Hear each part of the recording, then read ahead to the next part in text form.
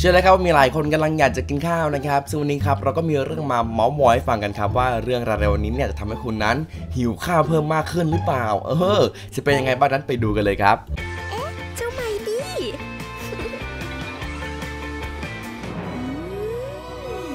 มาร์ชเมลโลว์ขาวๆนุ่มๆสอดไส้ไมดี้มาร์ชเมลโลว์ขาวนุ่มสอดไส้อร่อยมีสไตล์ หลายคนนะครับเปิดคลิปต้องการดูนั่นดูนี่นะกินไปดูไปนะครับมีความสุขนะครับ วันนี้ครับเรามีเรื่องราวมาเมาส์มอยให้ฟังครับเกี่ยวกับเรื่องของแมลงสาบนะครับ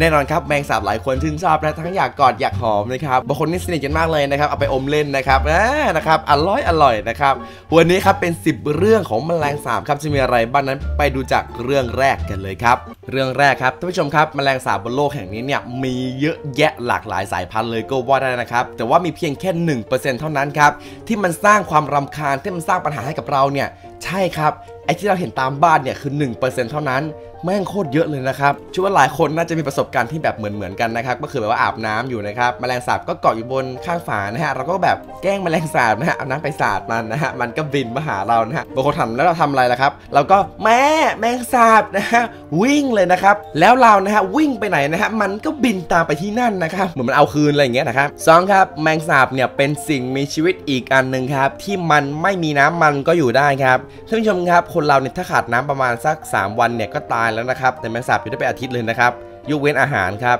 ใช่ครับแมลงสาบขาดอาหารได้ไปถึงอาทิตย์ครับมันก็ตาย ส่วนคนครับอยู่ได้สบายๆไม่กินก็ไม่ตายนะครับเรื่องที่ 3 ครับท่านผู้ชมครับ รู้หรือไม่ครับว่าแมลงสาบครับถ้าไม่มีหัวมันอยู่ได้อีกเป็นอาทิตย์เลยนะฮะบางคนนะครับมีนิสัยชอบหยอกนะครับชอบเอาแมลงสาบนะครับมาตัดหัวเล่นนะครับนี่แน่นี่แน่นะครับแล้วก็สนุกสนานกันไปนะครับแต่รู้ไหมครับว่าความเป็นจริงแล้วเนี่ยตัดหัวไปแล้วเนี่ยมันไม่ตายนะครับเพราะเนื่องจากว่าร่างกายของแมลงสาบเนี่ยมันไม่ได้ใช้จมูกหรือปากหายใจครับแต่มันใช้รูเล็ก ๆ บริเวณลำตัวมันนั่นแหละครับในการหายใจแมลงสาบฝากบอกนะครับบอกว่าถ้าจะหยอดในการตัดหัวแบบนี้มึงฆ่ากูเถอะนะครับสี่ครับอายุของแมลงสาบครับท่านผู้ชมครับรู้หรือไม่ครับว่าแมลงสาบเนี่ยจริง ๆ แล้วมันเกิดในยุคสมัยไดโนเสาร์นู่นเลยนะครับซึ่งมีอายุรวมๆกันมาตั้งแต่โคตรเง่ามันเนี่ยประมาณสัก200 กว่าล้านปีนะฮะ แต่มนุษย์ครับเกิดขึ้นภายหลัง แสดงว่าแมลงสาบมันเกิดก่อนนะครับ เราเองเนี่ยเป็นมนุษย์นะฮะเราก็ต้องยกมือไหว้แมลงสาบนะครับสวัสดีครับแมลงสาบนะครับเพื่อแสดงความเคารพถึงบรรพบุรุษของมันนั่นเองนะครับอย่าไปตีมันนะครับเดี๋ยวมันเจ็บบางคนบอกอืมไม่เจ็บต่อพี่มันตายเลยนะครับมันไรความรู้สึกแล้วนะครับอะห้าครับสมองเป็นการรีเฟชครับท่านผู้ชมครับแมลงสาบเนี่ยเป็นสิ่งมีชีวิตที่มีสมองเหมือนมนุษย์นะครับมนุษย์เนี่ยจำได้ทุกเรื่องนะฮะตั้งแต่เรื่องราวยันอดีตนะครับยันปัจจุบันนะครับเรื่องความรักที่จำได้โคตรแม่นเลยนะครับยกเว้นเรื่องเรียนนะครับเดี๋ยวก็ลืมแล้วนะครับแต่ว่าแมลงสาบครับมันไม่จำสักอย่างเลยครับ ใช่ครับ แมลงสาบครับ ถ้ามาทำอะไรก็ตามในวันนี้ พอผ่านเที่ยงคืนไปปุ๊บนะฮะ มันก็จะลืมทันทีนะครับว่า เอ๊ะเมื่อวานฉันทำอะไรไปเนี่ยนะครับ ถามตัวเองก็ไม่รู้คำตอบถามใครก็มีใครรู้นะครับ เพราะต่างคนต่างลืมนะครับหกครับแมลงสาบเป็นแมลงขี้อ้อนนะครับ หลายคนไม่รู้อะไรซะแล้วนะครับว่าแมลงสาบเนี่ยเป็นสัตว์ขี้อ้อนนะครับ เพราะว่าแมลงสาบจริงๆเนี่ยเป็นสัตว์ที่ชอบให้มนุษย์เนี่ยเล่นด้วยนะครับ เนื่องจากว่าแมลงสาบครับเป็นสิ่งมีชีวิตอีกตัวหนึ่งครับที่ชอบ การบีบรัดผ่ารูเล็กๆนะครับตรงไหนที่มันมีรูเนี่ยมันก็ชอบจะมุดเข้าไปใช่ไหมครับอย่างเช่น ตามรูประตูห้องน้ำใช่ไหมครับชอบไปซุกอยู่นั่นเพราะมันชอบนั่นเองครับหรือว่าบางคนนะฮะจมูกใหญ่มากแมลงสาบนึกว่าถ้ำนะฮะวิ่งเข้าไปวิ่งเล่นอะไรอย่างเงี้นะครับอืมนะครับขี้มูกเต็มเลยนะฮะนี่แหละครับเหตุผลว่าทำไมแมลงสาบถึงบินตามเราครับ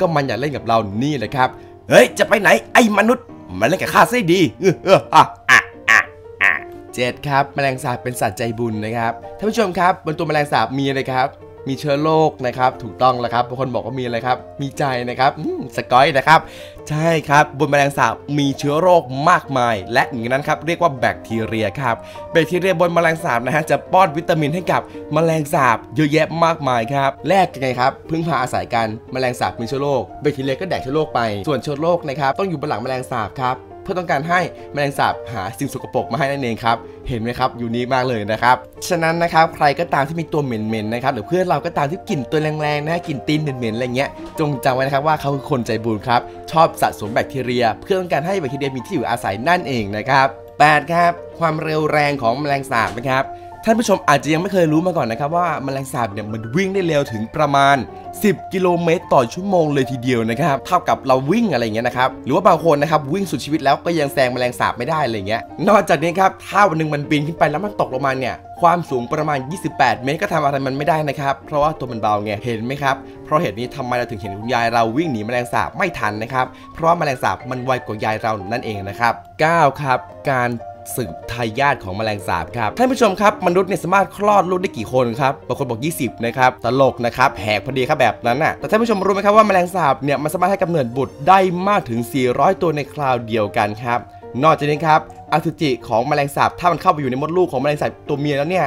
มันยังคงอยู่ได้อีก 12 เดือนครับ ซึ่งตรงข้ามกับมนุษย์เลยก็ว่าได้นะครับ เพราะว่ามนุษย์เองเนี่ยอยู่ได้มากสุดก็ประมาณสัก 7 วันอะไรอย่างนี้ เห็นไหมครับแมลงสาบคิดจะครองโลกซะแล้วนะครับ เตรียมยากันยงกันยุงแมลงทรงแมลงสาบเอาไว้ให้เรียบร้อยเลยนะครับ ฉีดแม่ง 10 ครับ ความอันตรายของแมลงสาบครับ ท่านผู้ชมครับผมเชื่อว่าหลายคนเนี่ยเวลาเห็นแมลงสาบตัวใหญ่ๆมักจะตีใช่ไหมครับส่วนตัวเล็กๆนี่ทำไมครับ เก็บไว้เลี้ยงนะครับน่ารักนะครับอืมนะครับอย่างไรก็ตามครับจากผลการวิจัยเนี่ยพบว่าแมลงสาบตัวใหญ่ๆเนี่ยมีความอันตรายน้อยมากนะครับถ้าเทียบกับตัวเล็กๆเนี่ยเนื่องจากตัวเล็กๆเนี่ยเป็นสิ่งมีชีวิตที่มีพิษมากกว่าตัวใหญ่ครับและก็มีความสกปรกโสโครกมากกว่าด้วยด้วยซ้ำไปนะครับฉะนั้นแล้วเนี่ยเห็นแมลงสาบไม่ว่าจะเป็นตัวเล็กตัวใหญ่นะครับฟาดไม่ยั้งเลยนะครับบางคนบอกนะครับขุนพระ ตีมันได้ยังไงอะมันก็เจ็บหรอกไม่เอาไม่เอาอะเลี้ยงไว้ดีกว่าที่บุญด้วยอีไฮโซนะครับ สิ่งดีๆมีไม่เลี้ยงเลี้ยงแมงสาบนะครับจะเห็นได้ว่านะครับเรื่องของแมลงสาบนั้นก็เป็นอีกหลายเรื่องครับที่จะละเอียดอ่อนพอสมควรครับฉะนั้นเนี่ยเราเห็นตามห้องน้ำอะไรแล้วก็อย่าไปทำอะไรมันนะครับเดี๋ยวมันเจ็บเอายาฉีดแม่งเลยแล้วกันนะครับอะอย่างไรก็ตามครับถ้าชอบคลิปนี้ก็อย่าลืมกดไลค์กดแชร์กด subscribe กดติดตามและอย่าลืมกดกระดิ่งให้ผมด้วยแล้วกันนะครับแล้วเจอกันใหม่คลิปหน้าสำหรับวันนี้ลาไปก่อนนะครับ สวัสดีครับ ปีโป้กัมมี่อร่อยแนะนำปีโป้กัมมี่รสแบล็คเคอร์แรนวิตามินซีสูง ปีโป้กัมมี่เคี้ยวสนุกเคี้ยวอร่อย จริง